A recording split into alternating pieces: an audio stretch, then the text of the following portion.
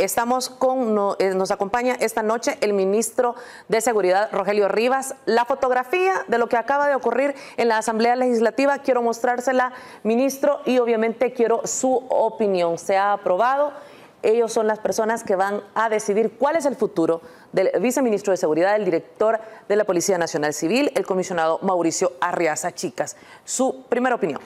Bueno, mira, eh, yo creo que como lo dijo el diputado Numo Salgado, tu invitado que estuvo antes de ese servidor, pues es lamentable el cómo pues eh, de manera express conoce el pleno legislativo de esta solicitud que hizo el fiscal general de la República, prácticamente casi que en 48 o 72 horas conocen esa eh, solicitud de antejuicio.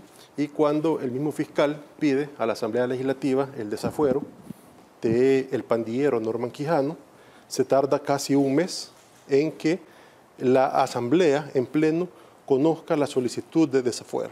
Casi un mes después, eh, conoce la Asamblea Legislativa de este dictamen para quitarle el fuero a eh, el pandillero Norman Quijano y con el eh, viceministro de Seguridad y director de la Policía Nacional Civil, en 72 horas ya tenían los votos para reunir las condiciones para crear una comisión que busca eh, desaforarlo para que pueda, eh, según ellos, eh, enfrentar la justicia por actos que no están debidamente comprobados. La foto, lamentable, esa foto dice que son los mismos de siempre.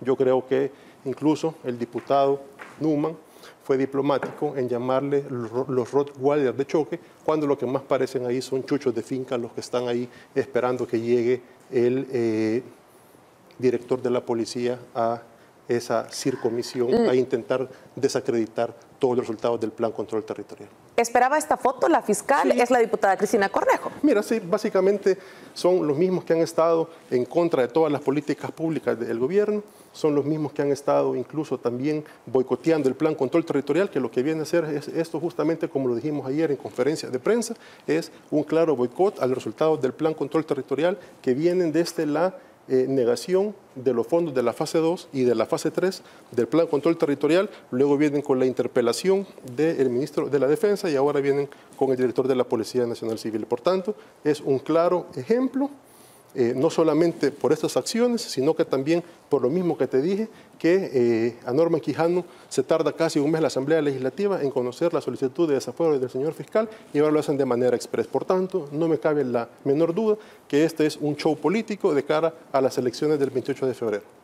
¿Qué va a pasar en los próximos días? El apoyo total por parte de ustedes a la actuación del director de la Policía Nacional. Por supuesto, lo dijimos ayer, eh, todo el gabinete de seguridad de este gobierno respalda al comisionado Arreza Chica, estamos con él, y también esto lo que buscan también es desorientar al gabinete de seguridad a eh, enfocar eh, energías en defenderse de estos ataques y desligarse o nos hacen tratar de desligarnos del plan control territorial cuando efectivamente yo lo anuncié ayer que a, pesar de estos ataques sistemáticos al plan control territorial, nosotros como gabinete de, de seguridad no vamos a flaquear en mantener los resultados que lo hemos demostrado que ha sido una política pública exitosa, la cual ha sido capaz de ser sostenida casi en 17 meses y por consiguiente vamos a seguir mejorando los resultados. Ellos quieren que los resultados evidentemente se eleven la delincuencia, se eleven los homicidios, la extorsión, los desaparecidos para que sea muletilla de ellos de cara a las elecciones legislativas del próximo año.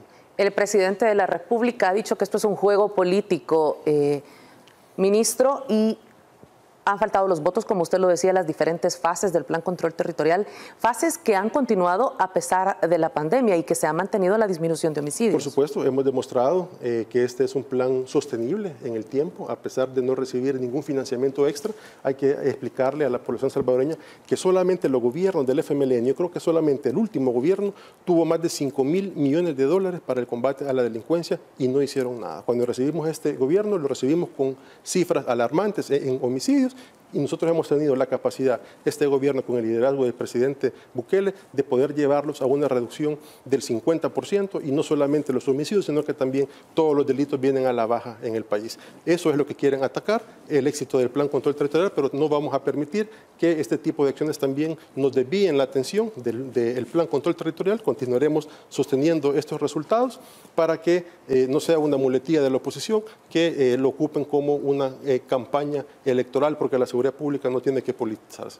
Falló el director de la Policía Nacional Civil al no llevar con apremio al ministro de Hacienda bien lo explicaba el diputado Salgado, ese es un procedimiento el cual eh, tuvo que haber eh, solicitado un desafuero por, de los ministros para poderlo llevar por apremio. Yo creo que él explicó muy bien la parte jurídica, yo creo que hubieron los suficientes elementos para no hacerlo. Eh, incluso el ministro de Hacienda, en esa oportunidad que lo había convocado esta comisión especial, él se encontraba en la Asamblea Legislativa presentando el presupuesto general de la Nación, que es el día más importante del Ministerio de Hacienda para presentar a aprobación el presupuesto del próximo año. Es decir, estaban las justificaciones suficientes como para que el ministro no eh, llegara a esta comisión, en el cual todos sabíamos que también iba a ser una comisión electorera, que lo que buscaba únicamente era la no aprobación de los créditos que se han venido solicitando de manera sistemática para poder enfrentar la pandemia y otras necesidades que tiene el mismo gobierno. Quiero preguntarle... Eh, ¿Qué opina? ¿Qué opinión le merece la actuación del fiscal general de la República, no solo en este tema, sino que en lo que eh, sin duda es la coyuntura actual del país? Mira, eh, me extraña que solicite eh, el desafuero del director Arreaza, del viceministro, es una clara intención de eh, querer obstaculizar los resultados del Plan Control Territorial. Él en un tuit ahora manifestaba que gracias a él es que se han reducido los homicidios. ¿Ha sido gracias a él, a los procesos que ha llevado la Fiscalía? No, mira, yo, cuando leí eso pues me dio risa. Eh, yo incluso ayer mismo lo dije, me gustaría ver a los fiscales eh, armados y con el mismo garbo con el que estuvieron en el Ministerio de Salud cuando vamos y realizamos los operativos contra la pandilla MS o la pandilla 18. ellos eh, se mantienen eh, lejos de los operativos, es decir, solamente esperando que la policía proceda a la captura de ellos. definitivamente no es así.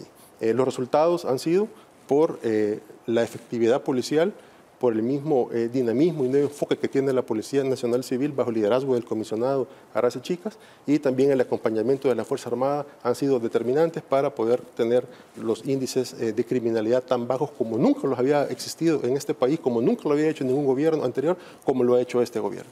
Aquí mostramos todas las posiciones. Quiero mostrarle el tuit del fiscal general de la República, eh, confirmar si es a este el tuit que se refiere. Ministro, lo vamos a leer el fiscal general de la República, Raúl Melara, publicó 37 pandilleros condenados apenas de hasta 172 años. Esta es la labor de la Fiscalía General de la República. Esto es lo que logran las investigaciones fiscales. ¿Por qué se han reducido los homicidios? Porque desde que inicié mi gestión hemos condenado a más de mil criminales. Es lo que dice el fiscal general de la República, ministro. Bueno, mira, eh, suerte que no se le han caído esos casos como se le han caído otros casos eh, de corrupción de gobiernos anteriores. Hemos visto cómo eh, ha perdido casos eh, importantes y emblemáticos. no sé si lo hace a propósito o qué. definitivamente, mal haría en que estos casos también se le caigan. Es decir, si es la, es la Fiscalía. Es la Fiscalía y que ocupa a la Policía Nacional Civil para realizar todas las investigaciones. La policía es el órgano auxiliar de la Fiscalía para las investigaciones. Al final quienes trabajan son nuestros investigadores.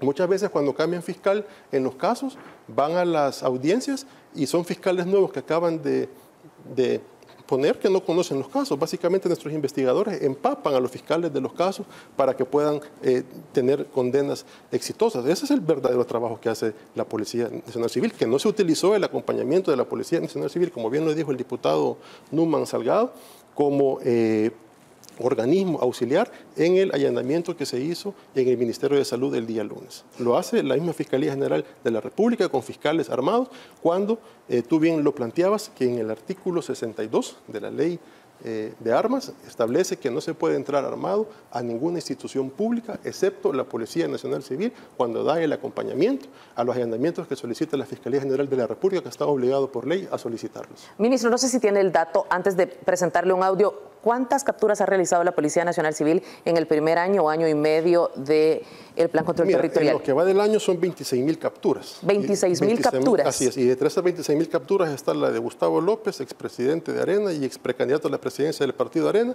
y también está el de un señor que está vinculado a las empresas de la familia Simán. Entre esas 26 mil capturas están esas dos capturas, que son casos que, por cierto, se le cayeron al fiscal. Quiero que escuche al diputado Portillo Cuadra. Veamos. Nuestro rol como partido de oposición va a ser la defensa de los derechos humanos, la defensa de la institucionalidad democrática, la defensa de las funciones del Estado de cada uno de los órganos y por eso precisamente creemos y le quiero mandar un mensaje a todos los ministros y a todo el gabinete. No se presten a cumplir decisiones ilegales del presidente. El único responsable que Arriaza Chicas tenga un proceso de desafuero en este momento es el presidente de la República porque sin duda alguna él le ordenó a los ministros que no vinieran a la comisión especial. Él sin duda alguna le ordenó al director de la policía que no cumpliera los apremios. Este es el resultado. Por lo tanto, señores ministros, presidentes de autónoma, no se presten a cumplir decisiones ilegales del presidente. Cumplan la constitución, Piensen en sus familias, piensen en su futuro, piensen en el Estado de Derecho, piensen en la razón por la cual los nombraron para servirle a la población, no para quebrantarla. Habla de los apremios, eh, se refiere también al ministro de Salud que se encontraba en uno de los cercos sanitarios, si no mal recuerdo. Eh, ¿Su opinión? Esas declaraciones lo que intentan es confundir a la ciudadanía. Evidentemente, eh, como muy bien lo explicaba el panelista anterior, eh, no se puede llevar a un ministro eh, por apremio como eh, cuando tiene un fuero. Primero hay que solicitarle, hay un procedimiento legal para hacerlo. Yo no soy abogado, pero hay un procedimiento para poder solicitar el desafuero también de un ministro y que pueda ser llevado para premio, como se hace con un diputado que comete algún o sufre un accidente, se pone a disposición de la Asamblea Legislativa. Es, es, decir, no va por apremio. Es decir, al final, eh, como tú bien lo dices, el ministro de Hacienda estaba presentando el presupuesto, el ministro Alaví estaba eh, al frente de un cordón sanitario, porque evidentemente la prioridad del ministro de Salud es eh, seguir teniendo al mínimo la pandemia en el país, lo cual ha hecho un trabajo exitoso. Y como ha sido un trabajo también exitoso, están tratando de desmeritar con acciones políticas el buen manejo que ha tenido este gobierno en cuanto a la pandemia. El diputado Partido Cuadra hace señalamientos serios al presidente de la República. Mira, yo, como te dije, yo creo que el diputado Cuadra, pues creo que estaba o hacía un mejor papel cuando estaba él en un grupo musical del cual creo que él era vocalista que siendo diputado. ¿Verdad? Eh, como te dije, él lo que está haciendo básicamente es tratando de confundir a la ciudadanía. No ha habido ningún acto irregular por parte de la Policía Nacional Civil. Son cuestiones de procedimientos que hay que cumplir y yo creo que pues en su momento eh, servirán este tipo de pruebas a la hora de ver qué va a pasar con esa... Eh, comisión que este día han juramentado de manera express. No lo hicieron así con el delincuente Norman Quijano, que casi tardaron tres meses en crear una comisión especial para eh, solicitar el desafuero y hemos visto cómo eh, entre ellos mismos, los mismos que salen en esa foto, votaron en contra del desafuero del diputado Norman Quijano y su partido lo premia poniéndolo en primera posición para diputado del Parlamento Centroamericano. Es decir, que muy probablemente Dios no lo quiera y que no sea así, que la ciudadanía no lo elija, pero tendremos quizás a un marero en el Parlamento Centroamericano el próximo año. Vamos a ir a una pausa, regresamos con más de la entrevista en Noticiero El Salvador. Gracias a usted que nos sintoniza. Bueno, gracias por estar con nosotros. Esta es la entrevista de Noticiero El Salvador. Quiero saber la opinión que le merece la figura y la posición de la Fiscalía General de la República, del fiscal Raúl Melara. Bueno, mira, eh, Lamentamos. Tomando en cuenta, perdón que lo interrumpa, tomando en cuenta lo ocurrido en el Ministerio de Salud esta semana.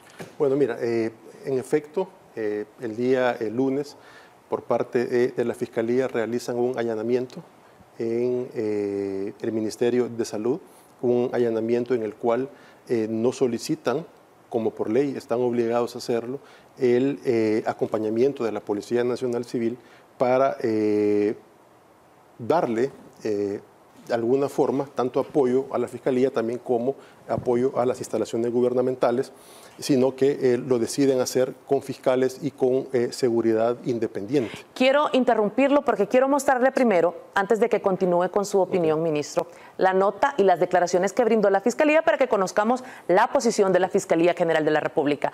Producción, por favor. La Fiscalía se contradice respecto al allanamiento realizado al Ministerio de Salud. Una de las fiscales del caso que han denominado compras COVID dijo que el martes irrumpieron en las instalaciones del MinSal para secuestrar el servidor donde almacenan información de las adquisiciones. Hemos tenido la oportunidad, en vista de que se eh, permitió, se abrió la puerta, nosotros aprovechamos la oportunidad para ingresar sin que se nos permitiera el acceso. Aunque aseguran que ya tenían definida la información que buscaban, una vez iniciada la diligencia pidieron más tiempo al juez para estar dentro del ministerio y llevaron a más personal de la institución. Fue la prórroga porque por los, inconvenientes que tuvimos pensamos que no íbamos a terminar ni en tres días y por eso el juez esta copia nos autoriza de, las 6 horas del día 12 de noviembre de 2020 hasta las 6 horas del día 14 de noviembre del 2020. No, es que no nos van a entregar la original, es una copia. En esa segunda parte del allanamiento al Ministerio de Salud intervinieron 85 fiscales, casi 80 personas más que las que dieron inicio al procedimiento el día lunes. Fueron aproximadamente 85 fiscales los que estábamos ahí para acuerpar el equipo fiscal que en un primer momento estaba conformado por ocho personas. Y si en un procedimiento se requiere que lleguemos 200 auxiliares fiscales, 200 auxiliares estaremos ahí. Los fiscales informaron que personal de seguridad de la institución resguardó el dispositivo porque consideraban que no tendrían el apoyo de la policía. Y nosotros realmente no queremos perjudicar a la policía. Si podemos hacer nosotros estas diligencias, las hacemos. Vamos a una institución de gobierno, no vamos a una casa. Esta investigación se basa, asegura la Fiscalía, en indicios de irregularidades en transferencias. Algunas rondan los 12 millones de dólares para compra de equipo médico. De acuerdo con Fiscalía, el comisionado de las ICIES envió tres posibles casos donde existen indicios de mal manejo de fondos públicos en el contexto de la pandemia del COVID-19. Sin embargo, el Ministerio Público ha prestado mayor atención al Ministerio de Salud y es por eso que se encuentran depurando 18 anomalías en esta investigación, pese a que existen otros casos con mayor documentación sobre hechos de corrupción. Salomón Rugamas, Noticiero El Salvador. Gracias, Salomón. Ahora sí, quiero su opinión al respecto de estas imágenes y también de lo que ya decía los fiscales. Mira, es importante, Marisol, aclarar que en ningún momento la Policía Nacional Civil ha obstruido el trabajo de la Fiscalía General de la República. La policía, su presencia no obedece ahí a eh, impedir el trabajo de los fiscales. En ningún momento se ha hecho así. Eh, la, presencia de la policía obedece a un requerimiento en un Ministerio de Salud por la forma prepotente en que llegaron los fiscales intimidando a los empleados del Ministerio de Salud, forzando chapas, forzando cerraduras y evidentemente lo que hacen es pedir el apoyo de la Policía Nacional Civil para el resguardo nada más de las instalaciones, no para obstruir, como lo han querido hacer ver, la investigación de la Fiscalía General de la República, que por cierto me parece que 85 fiscales, me parece que es un número exagerado. Eh, menos mal decían ellos que lo que no querían era hacer un show mediático, cuando si tú ocupas 85 fiscales, cuando un trabajo que perfectamente el día lunes que llegaron, llegaron nada más 8 fiscales, se hubiera podido realizar y de la mejor manera. Yo creo que también ha sido un acto de matonería por parte de ellos. Hemos visto cómo también fiscales han llegado armados a la Fiscalía General de la República. ¿Hay pruebas al respecto, por supuesto, ministro? De hecho, yo creo que ahí hay fotos eh, incluso cuando eh, un fiscal empuja a dos agentes en eh, la portería, empuja a dos agentes de una manera prepotente para ingresar a las instalaciones. Ese tipo de matonería es el que se ha visto y yo ahí no he visto yo lo mismo de siempre criticando eso. Lo han querido darle el enfoque de que la policía ha llegado a impedir el trabajo fiscal, cosa que lo desmiento categóricamente. ¿El allanamiento comenzó qué día y cuándo llega la policía? Llegó el día lunes el allanamiento si yo no me recuerdo, la policía llega el día martes y que por cierto se tardaron 36 horas aproximadamente, o quizás un poco menos o un, poco más, en mostrar la orden de allanamiento que había dado el juez. Es decir, simplemente llegan, muestran una hoja, entran de manera prepotente, entran intimidando al personal del Ministerio de Salud para realizar este tipo de procedimiento. Yo creo que ya el ministro de, Salud explicó y los asesores jurídicos... Estas imágenes que tenemos es... Eh, el parte del allanamiento y parte de los discos duros que se sustrajeron como parte de este allanamiento. Correcto. bueno, de hecho el mismo ministro de Salud ha dicho que es información vital la que se requiere ahí para hacer compras eh, para eh, medicamentos de pacientes que sufren cáncer.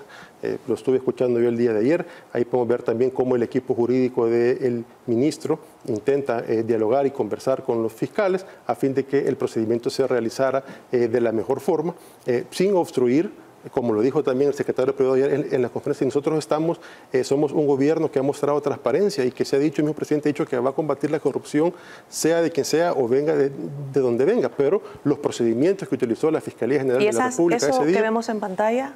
No fue, esas son las armas eh, de las cuales los fiscales eh, habían llevado, se hicieron acompañar por seguridad privada, eh, cuando debería ser la Policía Nacional Civil quien debería de darle el acompañamiento a la Fiscalía para hacer este tipo de diligencias. Ahí podemos ver también cómo fiscales llegan armados. Y yo no veo, por ejemplo, a los fiscales eh, que llegaron ahí a actuar con ese mismo garbo cuando vamos a los operativos con la Policía Nacional Civil. Yo tampoco no los veo armados cuando van, pero sí llegan armados a las instalaciones del Ministerio de Salud de manera prepotente e intimidando a los empleados de la institución. Eh, la fiscal dijo que si eran necesarios 200, iban 200. Van a los operativos. Y dice, de que, y dice el fiscal que no es un show político. ¿Cuándo? 200 fiscales para el tipo de documentación que iban a llegar a sustraer, me parece un número elevado de, fiscales para eso. A propósito del fiscal, quiero eh, mostrarle un tuit del presidente de la República. Eh, si me apoya producción, ahí lo tenemos. En la cuenta del presidente Nayib Bukele leímos lo siguiente. Fiscal que deja caer todos los casos de los peces gordos, casos que ni siquiera inició él, sino su antecesor. Parece que solo ha llegado a perder los casos y que todos salgan libres. Cada día que pasa prescribe para siempre un día más del gobierno de Funes. Eso es lo que te decía, es decir, los casos importantes y emblemáticos eh, los cuales eh, son casos en los cuales han estado vinculados los partidos de Arena y los partidos del FMLN, que son los partidos que lo eligieron a el fiscal general de la República, vemos cómo los casos se le caen, los casos em-, emblemáticos de corrupción. Esperemos que no sea adrede, que no sea a propósito. Eh, y pues imagínate si el plan control territorial estuviera a cargo de él, pues seguramente todos los delincuentes salieran libres. Afortunadamente, pues tenemos un gabinete de seguridad profesional, el cual el director Arreza tiene todas las credenciales, ha sido un policía de carrera, tiene todas las credenciales para estar al frente de la institución policial. Eh, el, éxito del plan control territorial se debe a los despliegues policiales que hemos hecho a nivel territorial, a nivel nacional. Eh, ha sido un despliegue con criterio eh, hemos visto también cómo hemos fortalecido las investigaciones de la inteligencia policial para poder desarticular a todo este tipo de estructuras. Estos 26 mil delincuentes que hemos sacado de circulación son 26 delincuentes que han dejado de asesinar, de extorsionar y de violar.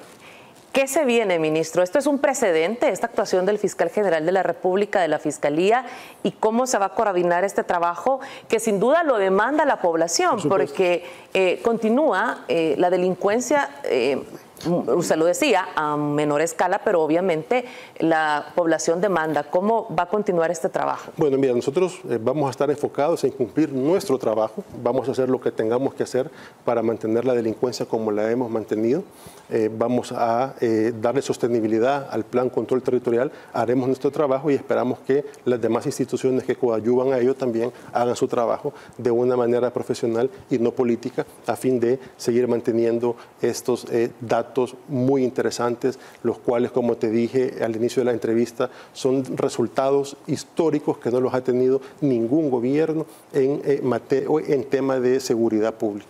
¿Hay deuda en materia de investigación por parte de la Fiscalía para este país? Mira, yo creo que eso tal vez te lo podrá eh, responder el fiscal general. Nosotros, como te dije, vamos a estar eh, de lleno en el trabajo del control de los territorios. Vamos a fortalecer algunas unidades policiales que se vienen para el próximo año, como el fortalecimiento de la policía rural, eh, entregarle eh, más radiopatrullas a los miembros de la corporación policial y esto lo estamos haciendo con eh, los fondos que nos asigna el Ministerio de eh, Hacienda año con año, es decir, son fondos del presupuesto ordinario de la cartera de seguridad y esperamos que la nueva Asamblea Legislativa que llega el primero de mayo nos pueda dar el financiamiento de la fase 2 y de la fase 3 del Plan Control Territorial, porque estamos claros que esta Asamblea Legislativa no va a hacerlo porque ellos no quieren que la seguridad pública y la seguridad de los salvadoreños mejore. Es decir, estos diputados se van a ir con esa deuda, con la deuda de seguridad a los salvadoreños y evidentemente lo hacen porque también para ellos antes la seguridad pública era un negocio y eh, habían incluso algunos eh, miembros de estos partidos políticos que se lucraban de la inseguridad y de la muerte de los salvadoreños. Vamos a ir a la Asamblea Legislativa con el periodista Daniel García para que nos cuente lo último que ha acontecido en la Asamblea. Adelante, Daniel. Buenas noches, Marisol. En efecto, estamos transmitiendo en directo cuando son las 9 de la noche con 7 minutos y la información que se genera a esta hora de la noche es que eh, ya se ha convocado a la comisión de antejuicio contra el director de eh, la Policía Nacional Civil. Ha sido de manera inmediata que se ha convocado por parte de la presidenta de esta comisión, quien es Margarita Escobar. Eh, entendemos que serían cuestiones de forma para dar inicio al trabajo de esta comisión, entre ellos el horario, los días que se van a reunir. Sin embargo, nosotros estamos a la expectativa porque se ha hecho la convocatoria, mas no se han reunido todavía porque están en el desarrollo de la sesión plenaria. Eh, hay otros temas que se abordaron durante toda la sesión plenaria de este día, entre ellas los préstamos que ya mencionábamos eh, que no fueron aprobados, 250 eh, millones de dólares del BID, más los 50 millones que iban dirigidos para salud, temas importantes para el financiamiento de temas de nación para el país. Esta es la información que tenemos a esta hora de la noche todo apunta a que este proceso va a caminar, ministro. Eficientes los diputados, cuando quieren son eficientes. Imagínate que eh, no alcanzaron a discutir los préstamos, que eran importantes también para el país, para, otro, para otras carteras de Estado, pero sí le dan celeridad eh, a eh, antejuicio que le quieren llevar al comisionado Arasa Chicas cuando ha sido él pues una de las piezas claves en el plan de control territorial y una de las piezas claves para mantener estos índices históricos eh, a la baja de homicidios y de extorsiones, las cuales hemos combatido como nunca antes en ningún otro gobierno las extorsiones. Tenemos una reducción muy importante, pero lamentamos pues la postura que han tomado los diputados este día. Hay ellos, como yo le dije ayer, les quedan escasos 100 días en esos curules y próximamente veremos a muchos de esos diputados llevando currículum vitae a varias empresas solicitando trabajo y veamos qué tan eficientes serán en sus nuevos empleos. ¿Podemos imaginar cuál será el futuro de este antejuicio? Mira, yo creo que sí, como dice el diputado Numan, lo digo, tienen los votos para hacer eh, lo que se les ocurra hacer, lo que quieran hacer.